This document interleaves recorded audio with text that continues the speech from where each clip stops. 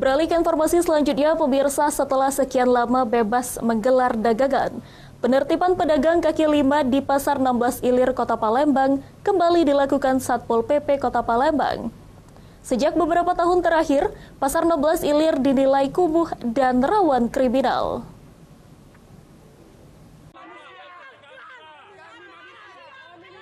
Inilah video amatir viral pembongkaran lapak pedagang kaki lima Pasar 16 Ilir Palembang selasa kemarin yang diwarnai isak tangis ratusan emak-emak pedagang kaki lima selasa pagi.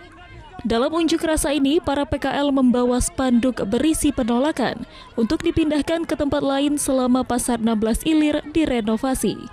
Tak hanya itu, PKL juga membongkar kembali Pasar Seng yang sudah dipasang petugas Satpol PP.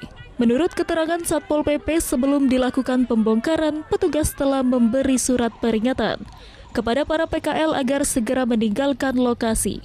Namun para pedagang kaki lima tidak mengindahkan surat peringatan hingga terpaksa dibongkar paksa petugas.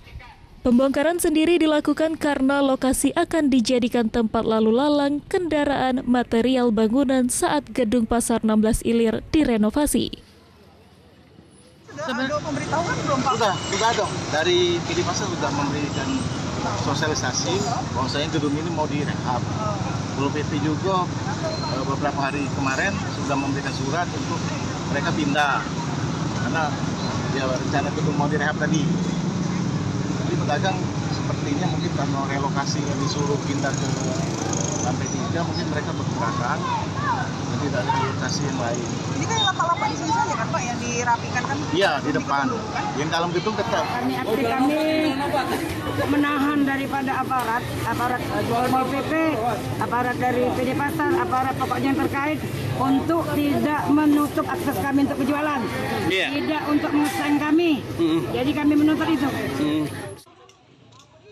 Meski barang dijual oleh PKL dikenal murah, namun padatnya PKL membuat pasar ini terlihat semrawut. Dari Palembang, Guntur Ainews melaporkan.